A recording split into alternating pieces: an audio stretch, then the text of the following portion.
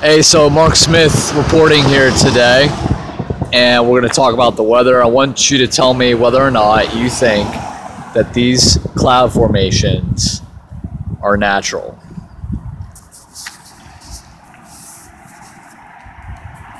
You think that's natural?